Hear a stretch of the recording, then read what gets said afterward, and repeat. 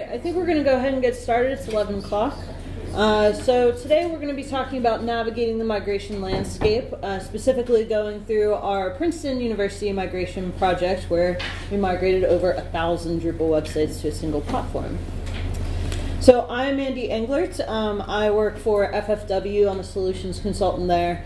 Uh, we're a digital agency. We focus on uh, just that full digital experience um, and particularly do a lot in Drupal. And uh, my name is Jill Moraca, and I'm Senior Director of a group at Princeton called Web Development Services. I'll tell you a little bit more about us. Uh, there's 14 of us. We're in the central IT office. We support a little over 1,100 Drupal websites and uh, somewhere a little over 600 WordPress sites. Uh, if you do the math, it's about 100 plus websites per team member that we're supporting. So uh, efficiency, a good multi-site platform is really important to us. So I'm going to start off today by telling you a little bit about our project. Um, it was essentially to get off Drupal 7. Um, we wanted to get it off as quickly as possible. We didn't want to drag out the project. We wanted to do it uh, quickly and efficiently. I'll, I'll, I'll, tell you a little bit more about quickly later. And um, we wanted to make it easy for our site owners too. We didn't want to disrupt them too much. They were busy, they didn't want to go through an upgrade, and they needed to continue their day to day work. And uh, we also wanted to reduce platform maintenance. So if you see the diagram on this slide, we had three different Drupal, I'll call them platforms, that we wanted to consolidate into one because maintaining one is easier than maintaining three. So the, the first, I'll call it a bundle, uh, it, we called it our site builder platform. So you'll hear me refer to our Princeton Drupal as site builder. We call it, that's what we branded it, the Princeton site builder. So we had um, the site builder bundle, which was about 300 sites. We had an Open Scholar bundle, which was about 700 sites, and then we had a custom bundle, which was actually 34 different code bases of websites. And so we wanted to move into one site builder. Uh, and along the way, of course, we wanted to improve accessibility. So that's, that's the project, get off Drupal 7. The scope of the upgrade um, was this. We knew we wanted to do all of our Drupal 7 sites. So by the end of the project, we could say, we're done, no more Drupal 7. Um, but we had to ask ourselves some questions along the way. How many really needed to migrate? Were there any dead ones that didn't have to go? Uh, we knew we wanted the scope to include most of the modules or replicate most of our features, but we also had to ask ourselves along the way, well, what's incompatible? What can't we do or what do we have to change? We knew we were going to upgrade most or all of the content, really. We weren't going to leave anything behind. We weren't going to make decisions about deleting content because that would have to involve the site owner. Then we'd have to ask, then they'd have to go look through something. So we decided we're going to we're going to move all their files and pictures, whether they needed them or not, for expediency. Um, but we, we also knew that we had some content types that might be a one-off that we were not going to migrate. And we had to talk about how might we convince the site owner to give up the one-off content type. So all content moved, most content types were moved and, and replicated. Uh, we had to ask ourselves, are we going to move and replicate most of our layouts? Um, really? We don't know how many we actually had going on between the three platforms. And we knew from the start that we were only going to um, move a handful of themes. So that's our scope. Uh, we did a little, uh, some counting. This is a ballpark counting, so we knew we had about 1,000 sites across all three of those bundles, 100 plus news and events items, 25,000 plus publications, 1,000 website editors, we have courses and all sorts of things. So that's the project, that's the scope. Uh, from the get-go, we, we had to figure out what success looks like and we had to write it down because for such a long project you can it can drag it can go on and on and you had to remind yourself like this is success we're working towards success keep going this is this is this is good So we had wrote down um, ahead of November 2022. We were going. This is way back when the end of life for Drupal 7 was sooner. So we were going with the sooner deadline. It's been it's been moved a few times. The first one. Um, but no longer than the end of the year 2023. We were okay going a little bit beyond November 2022. That uh, all websites running on Drupal 7 are now running on Drupal 9. Um, we knew that one of our success metrics was mid project, we were going to have to transition from 8 to 9 during this. And that, that transition was going to go unnoticed by website owners.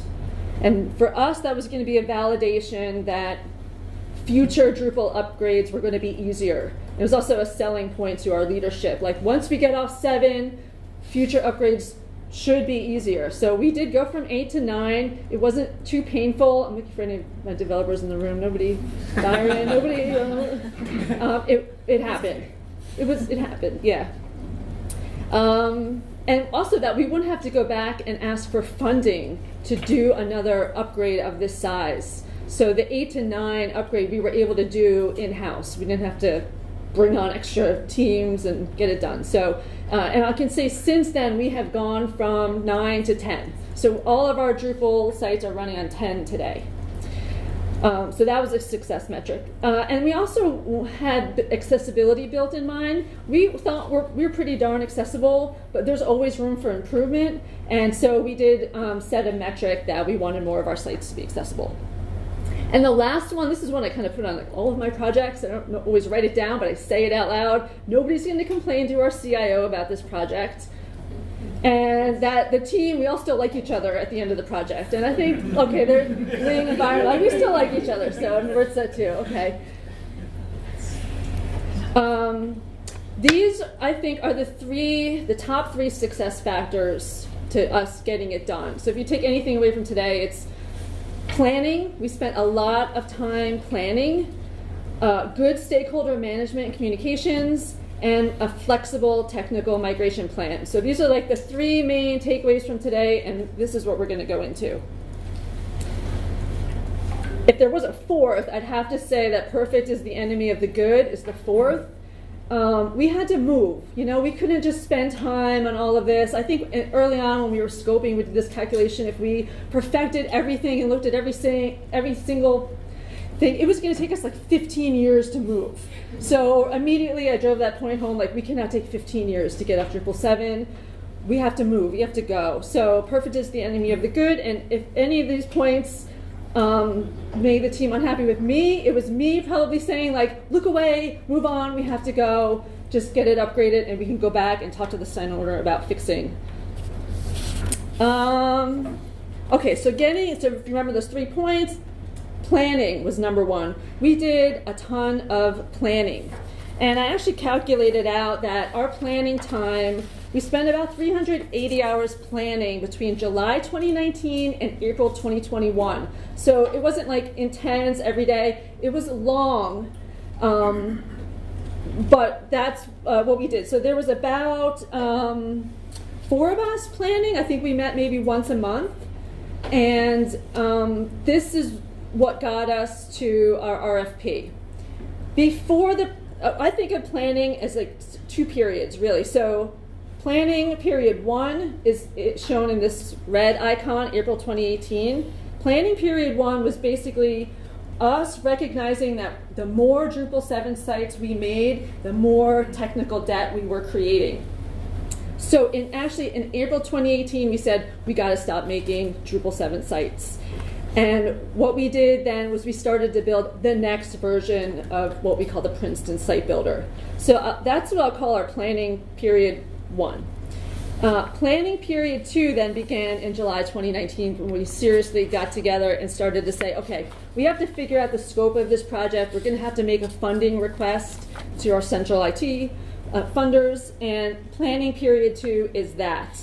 Um, planning period two ended when we selected FFW as our partner. That was about April 2021. And work on the upgrade, the actual let's go, let's get it done, was between April 2021 and May 2023.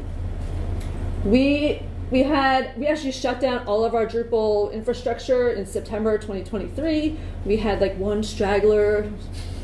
We, they were okay. They were a, a big office, so um, and we also wanted the infrastructure running a little longer, like just in case somebody came back and was like, "Oh, I forgot."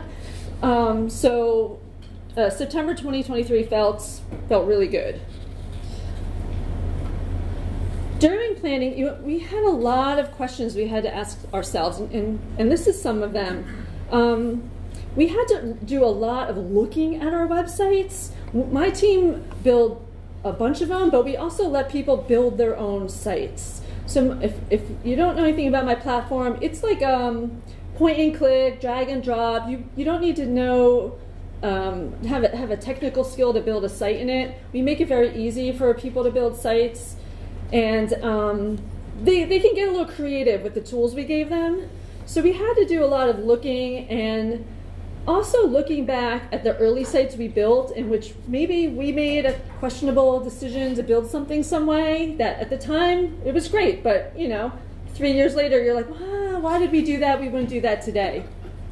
Um, and I also just re-emphasize to the team like it's you it's okay. You know, you didn't know what you didn't know three years ago, so that's fine. So we asked ourselves a ton of questions.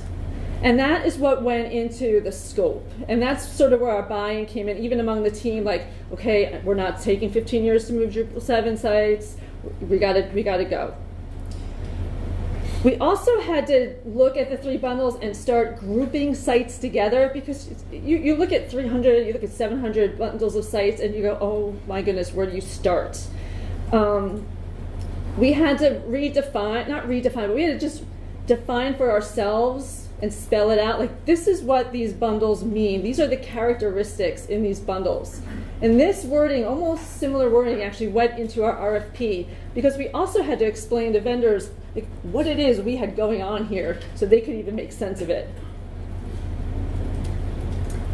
This is uh, an early spreadsheet we used for planning. So remember, I, I said we had to look at lots of sites. And, and not quite, we didn't have to open every one up and look at it. Um, one of our developers, um, Brian, I believe, uh, Brian Osborne, he would run scripts to take a look at characteristics and counts, and we would put it into a spreadsheet.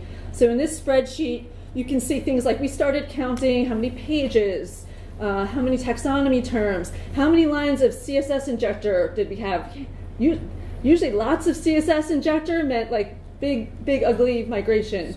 So you can see some had like, you know, three lines of CSS, some had like a thousand lines of CSS. we had to determine, you know, um, which theme they were using, uh, and then we started to. Um, in this column J, we had this is our proposed solution. This is where we think they're going to go. This is where we want them to go. We even got crazy and started to assign point values. So in these colored columns, we we tried to assign complexity points. Uh, and this, I think, this exercise helped a lot because it made us better understand our sites. It made us be able to group and bundle them and, and sort of call them by their names, like this is a complexity one, this is a complexity two. And did you, did you pick off the hard ones first? Um, or the easy ones first? Good question. Did we pick off the hard ones first or the easy ones first? I think so. I, we started with the easier ones first. Um, just just get you know dip our toes in the water. Yeah. The yeah, medium. The medium. We're sort of medium. Yeah, easy. We, we kind of we're, we're sure of, but yeah, the medium ones. Okay, so then um, that's that's some of the uh, ingredients that went into our planning parts. Communications was the second part of planning. Um, we had to first get leadership buy-in to we and, and to be able to get leadership buy-in, we had to describe what we were going to achieve and do in a non-technical way. So we had to describe the complexity of a Drupal 7 upgrade to them um, so that they would support and, and fund our efforts. Uh, we also had to give the give people details as soon as possible. The site owners, we had to tell them this is coming, this is what it, this is what it's going to include, this is what it's not going to include, it may sound far away, like in the next year or two, we're going to ask you to upgrade your site. A year or two sounds far away, but it comes up quicker than you think. And then we also had to create resources about the project. And those were communication resources, that is. So I'll show you a couple things about that. Um, we had um, three three websites that talked about this project. The first website was our own uh, service website, so Web Development Services. That's our group. We had uh, an initiatives page. That's what you're seeing on this slide. I know the text is tiny, but basically, what this page told people about this is the project. This is what it includes, and really, most importantly, this is what it does not include you are going to, and it says it in much nicer words, and I'm going to say it right now. You are going to lose this thing. You know, you are not going to keep this other custom thing. Um, and repeatedly, we had we referred people back to the site, and they could refer to it. We also sent emails. I did presentations around uh, Princeton's campus. Pe- you know, people lose an email, they forget what I say in a presentation. They could always get pointed back to this site. Uh, it had FAQs, what to expect. It had our office hours if they needed a question. Um, so that's our service site. The next thing we created was a documentation site for the Site Builder platform. This is still in use today, but it, it, gave people the idea of like, how do I do something in the new platform? Oh, okay, there's steps, there's help. I don't need to be nervous about moving to the new platform. And the third thing we created, which is also still in use today, and these you can you know go to these links uh, is our demonstration website. It showed off the features that, that are possible in the site. So people like to see. If I tell them, if I tell them something's going to be better or look better, uh, it's not as impactful as showing it. So those are those are the, so the two points. A lot of pre-planning, looking at what it is you've got, and bundling and characterizing, and heck, assigning point values, and two, um, preparing for good customer communications.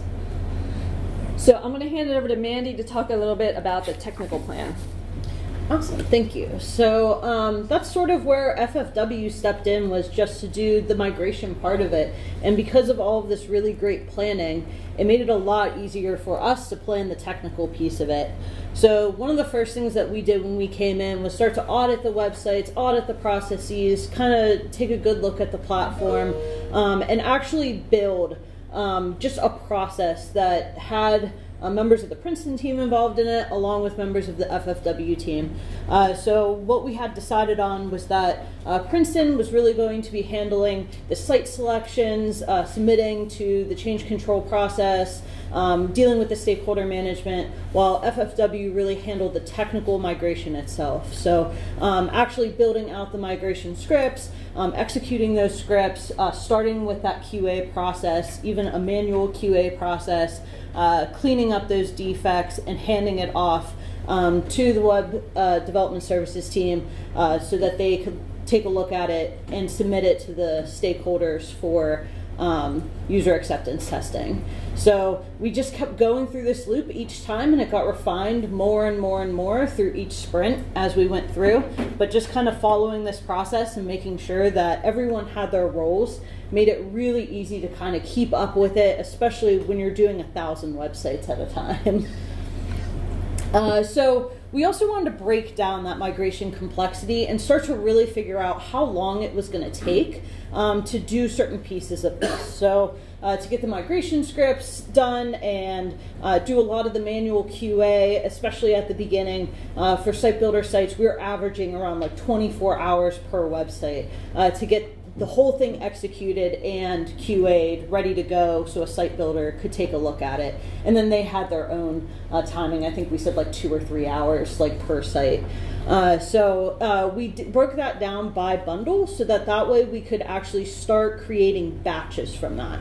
So now that we knew how long it was going to take in each bundle, and we knew how many sites were in each bundle, we could break it down and say, okay, so we'll have this many sites from here, this many sites from here, um, and time that specifically to how much time and resources uh, we had per sprint.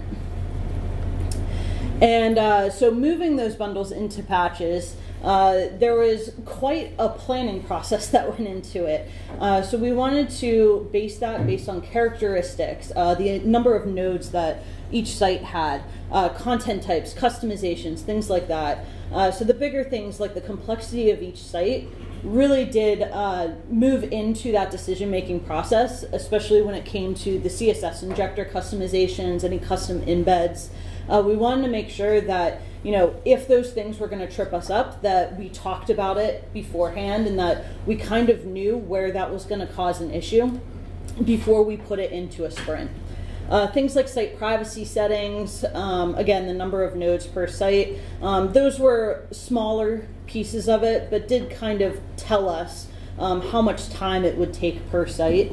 Uh, site priority, this is where like we worked really closely with the Princeton team to be able to see, you know, what was that stakeholder schedule? Were there blackout dates that a stakeholder said, you know, we cannot do our site, you know, for these three months, you can do it before or after. Uh, so we wanted to make sure that we were collecting that as well and make sure that we scheduled our sprints in that way. Um, the components and content types. By keeping those pretty closely aligned in each sprint, we were able to reduce that time as well. Uh, so we try to do that as much as possible. Obviously, you know, with scheduling and you know some stakeholders needing to go at certain times, like it wasn't always perfect. But as much as we could, we tried to align that up. Um, and lastly, just theme alignment. Um, just determining if the design, the themes were close to the theme that they would be migrating to. Um, I know uh, Jill's team gave us a really great list of uh, here are the settings that go for each site. This is the theme that they're going to migrate into. Um, and that really helped our team just kind of look at that and say, okay, here's the map. Let's keep moving forward. and another very complex spreadsheet here that's super small that no one's going to be able to see up there. Um, but it is basically, we wanted to make sure that we are mapping out how each field um, from the legacy was going to show up in the new platform. Uh, so again, this was a long and really tedious process between the two teams to really kind of go through and say, okay, what widget are we looking at? Uh, what was the machine name for that particular widget? Um, and then what was it migrating to in the future? And that way we could have those conversations about things that were maybe like depreciating. Um, maybe we were losing functionality on certain pieces of it so that that could go in the communication plan we could also kind of look at it and say, okay, um, you know, this is going to migrate, you know, one to one, no problem. These other things, it's going to look different in the new platform. Let's make sure that stakeholders are aware of that. Um, and it also gave our development teams a really great map for how to go from the first to the second and uh, get those scripts uh, really, really well refined.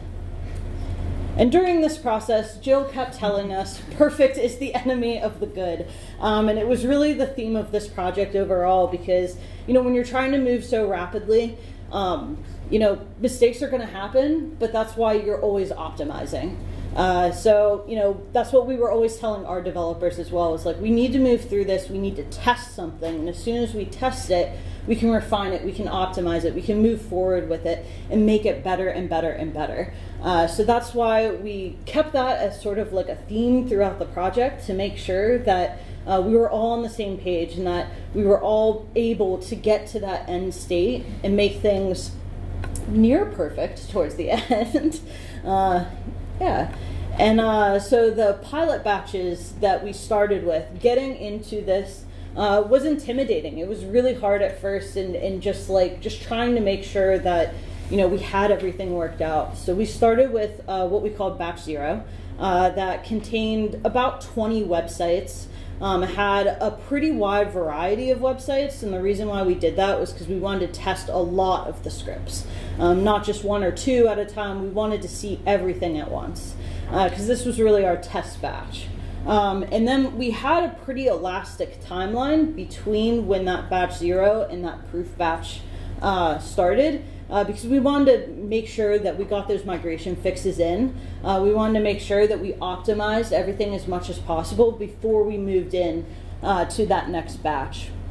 So when we moved into what we called proof batch uh, one, it contained another small number of websites, just like 20 to 25 sites and we saw that there was a lot smaller amount of fixes that were needed. We improved our QA time, um, and that's when we knew, okay, we can really start getting into this process.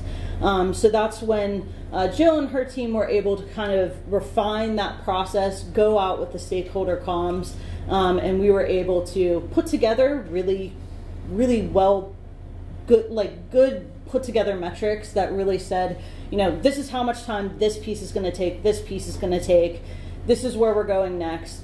Um, so that stakeholders were aware, but also all of the internal teams were aware before we moved on to batch two and further.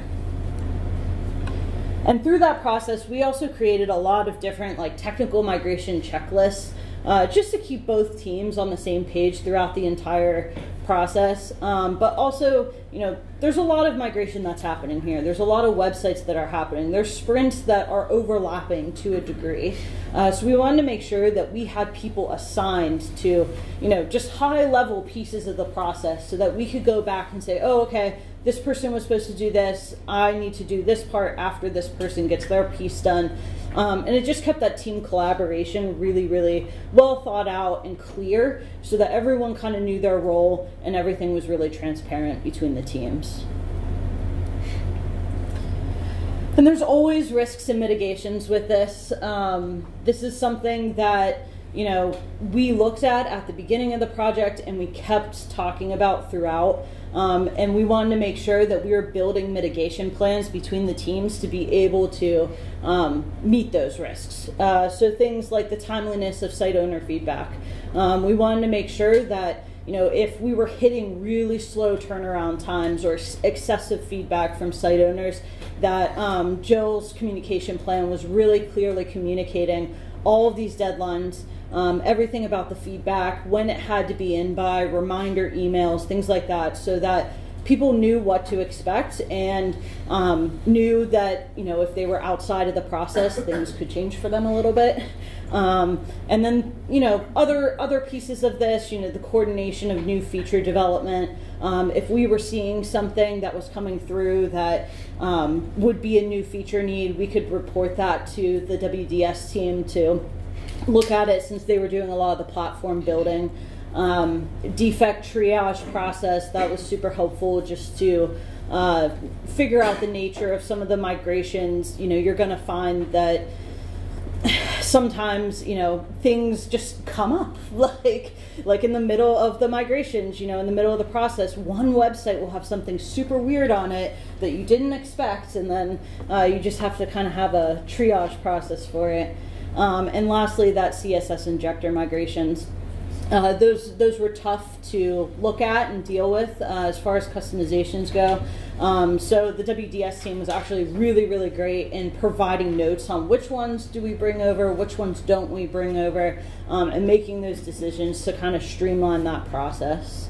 And actually, Jill, you have a great stakeholder comp plan. Yeah. So um, if you remember, we had those three bundles. We had the site builder, we had the Open Scholar sites, and we had the custom sites. And so we had we had um, this this chart you see right here is basically the process, but we did tailor it to the three different bundles. Um, and really, what we did by batching the upgrades and the migrations, we could just rinse, repeat, keep going, do the same thing. Um, it wasn't it wasn't all perfect and smooth. You know, you would get someone who might have ignored our multiple emails about not editing content during a certain window. We did want them to hold off for like a week if they could, and if they didn't, we told them just write down, remember what you did because you've got to redo it. Um, that happened mostly on our site builder bundles. Uh, and what we would do either is rerun a piece of the migration. We tried not to, but if it depended on how much it was. Um, otherwise, we would tell them, "Oh, hey, why not just copy paste that over? It gives you a chance to learn the new platform. This is a great opportunity." Okay. Or if it was small, we might have take, taken it on, just done it for them, so we could launch. So, you know, any reason to get them to launch in the Drupal, the new Drupal platform was it. If, if, if copying like five pages over was their blocker, we, we just did it and got it done. But, but we didn't want to do that a lot. Um, we did solve that for the Open Scholar bundle, where we actually put like a when they logged in, they got a, little, a header per batch, like this period, don't edit, don't edit. We had thought about taking away edit access, but we thought, oh, that could go really wrong, and then we can generate 100 emails for people wanting us to do stuff. So uh, there's a little bumpiness when we had people stop editing, but we didn't take away their permission to edit. Um, I don't think it was too bad at all, not that many sites. Um, this is an example of what I published on my Web Development Services website to tell people about the process, what to expect. Um, the Site Builder website owners, they had a two-week review period where they could report issues and we had a back and forth conversation, exchange, email, help, Zoom, whatever we had to do. Um, and then we would discuss a launch date. The bundle two, the scholar sites, since there were so many more of them and they were smaller and simpler, we didn't even give them a review time. We just said, this is happening now and you're launching on this date. And unless they really came back to us like, no, we, we launched them. We, we had to just move and get it done. And then the custom sites was more of a conversation because they were so tailored. We had to prep them a little bit to say, hey, you've got this now, it's going to change a little bit to this. Um, these were uh, more high touch QA sites. So um, their approval period varied because we did have to communicate some changes to them. Uh, I think the biggest, the biggest thing we did not do was all that CSS injector code, lines and lines of code. We said, you're not getting it, you're moving to what we call our new Tiger theme. And if anybody had some uncertainty about it, what, what I would do even is just show them the, the demonstration site. This is what it looks like. I didn't say relax, but I want to tell them relax. Um, and, and like two, two, maybe two websites, I actually did like this very quick homepage mock-up, and they were like, oh, okay, this looks good. But so most people were okay giving up their whatever theme it was and going into one consolidated theme we call Tiger. So no more CSS injector? Uh, not during the upgrade, we tried not to do it, um, but if there was one or two little things they wanted, like an accent color, and it made them happy and we could launch them, we would do it. We would, we would rather have put in a few lines of CSS injector to get them to launch than to have them delay a launch. So if you remember, these batches are going on. So FFW is they're migrating, they're migrating. We're handling the launches and the customer communication. And if we don't launch 10, 20 sites, 30 per week, we're going to have a pileup. They're going to keep going, and we have a pileup, and we don't want a pileup. That was that is bad. So we had to push people to launch. Um, I remember telling the project manager um, we had, I said, we're going to be launching 10, 10 to 30 sites a week. And he was like, that's crazy. I've never even done that in, my, in a month in my life. And we, we just had to move. We had to get them going. Uh, we were consistently reviewing and prioritizing defects. So in between our meetings with FFW and the technical team, we were meeting uh, internally. There was about three to four of us that would meet regularly and go through um, and prioritize the issues. Uh, and if you remember uh, the spreadsheet earlier that Mandee talked about, where we had um, we were mapping features to another feature, we also had a very important columns like how many sites was this thing used on? If it was used on two sites, forget it. We can't spend time on that. If it was used on 700 sites, okay, we got to spend time on that. So having counts of how many and the usage was was key. Um, we met internally uh, before we even gave FFW the batches. And what we would do is we would look at the sites and we would say, okay, this group can go together. They've got similarities or something going on, and the site owners are, are ready. And we would we would tee them up and queue them and give them to FFW. So we were doing some decision making there.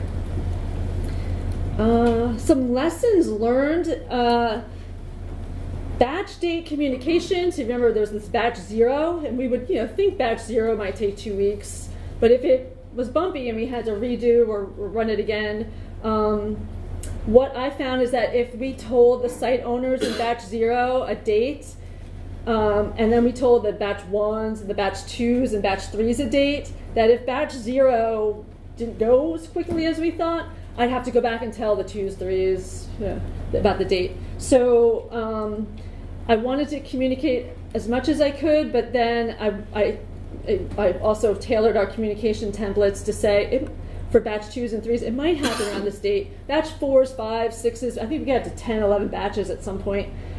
The dates were more certain. Uh, I talked a little bit about bottlenecks. Um, some bundles we had to just push, and the others we wanted to just get them to launch, whatever it would take to get them to launch.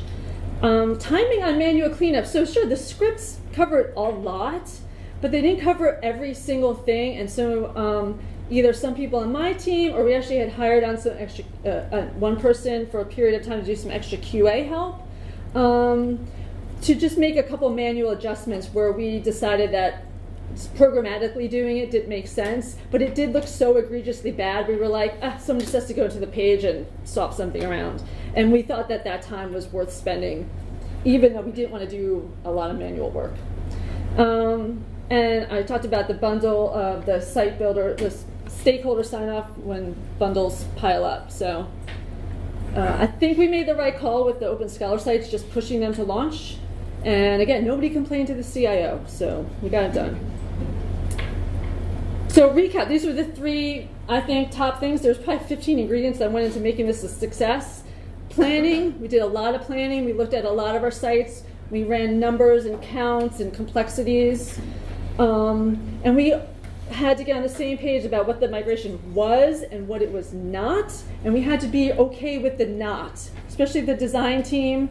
They, they love making every single page the perfect, and I'd have to say to them, Ling is smiling, it looked bad before the upgrade. It, it's still going to look bad. We'll try to improve it, but we got to move on because we have hundreds more to do, and we're not going to take 15 years to do it. Good stakeholder communications, being flexible, but also giving them enough information to make them feel comfortable with what we were about to do to their site. Um, sometimes it was like, look away from this thing you, you lost, but look at this new shiny thing you got. Uh, and certainly having a flexible technical migration plan with FFW where we were doing a batch zero, refining, and, and moving on. So I'm gonna just I'll pause there for a second. Yeah, we could actually probably. I think we have 10 minutes left, so.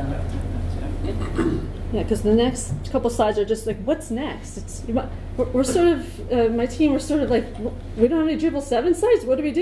You know, it's of consumes you for for two years. And you have to keep in mind, my team was also doing this upgrade. So we had two full time people dedicated to the upgrade project, but the rest of the team was doing the usual work. Our usual work is making new websites for the university, redesigning websites for the university.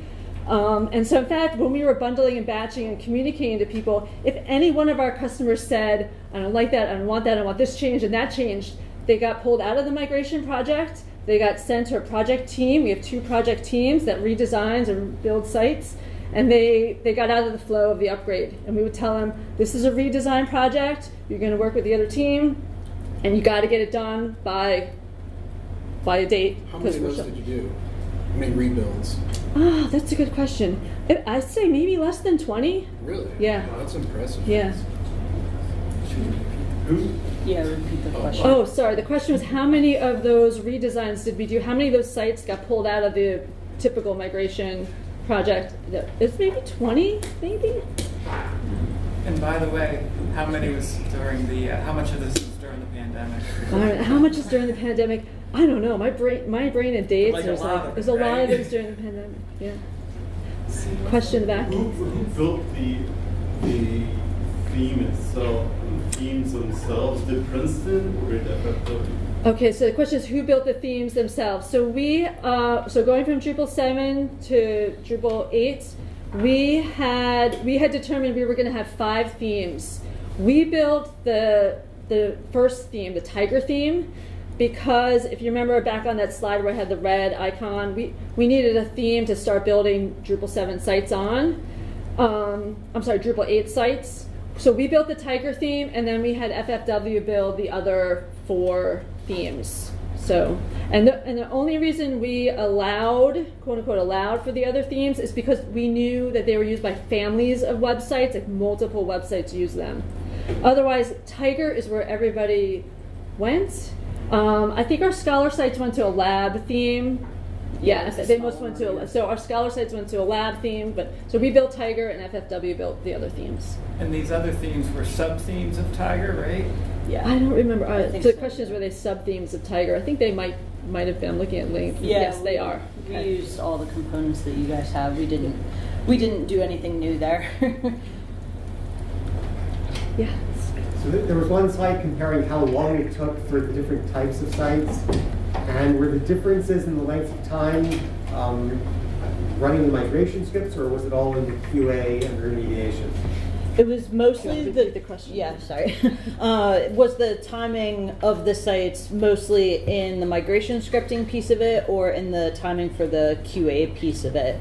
Um, at first, it was mostly the QA piece of it. We did have some in the migration scripting at the beginning too, because we had to optimize so many of them just kind of throughout. Uh, but I would say the manual QA was really where a lot of that kind of came in because we had to make decisions around what things were going to be manual versus what things we were going to build into the automation process. Um, over time, a lot of that got super refined, and we were down. I mean, we were doing 100 sites a week, I think, or every two 80, weeks. like yeah, that. it was Yeah, like yeah, 80 to 100 sites, and um, that's when we were able to refine it and get those numbers like way down per site. Uh, but mostly because the QA by that point, we were kind of like, oh, everything looks great. We have this so refined now that we know what to target and we know what to find from that QA. So how many iterations did you run? How many batches? Uh, let's see. So our Open Scholar bundle had like 700 something sites. Did we get up to 20 batches?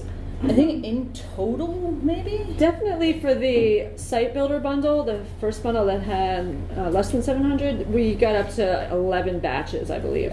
Yeah. I think yeah, in total, like all three. I think we had like something like 20, but yeah, the first one I think was 11. I think you're right. Yeah. So were you retraining, because obviously there's changes in the editing experience. Were you retraining all your editors at the same time, like Yeah. These batches running? It, so training is voluntary. People could show up for training or not. Um, Byron is our. Uh, oh, sorry. The question was, will we be training people during this upgrade? Yes. So training was voluntary. Byron is our trainer, our primary trainer. So part of our communications were, we're upgrading your site around this time period. You are welcome to attend the training before or after. So ahead of the entire start of the project, we had the new training class rolled out. And part of that was also to discourage people and send the message to campus like, Drupal seven's done. We're not even going to train you on it anymore. Um, come to the new training. How did you handle the feedback from like your community site builders for like the platform? And like how did you take that feedback?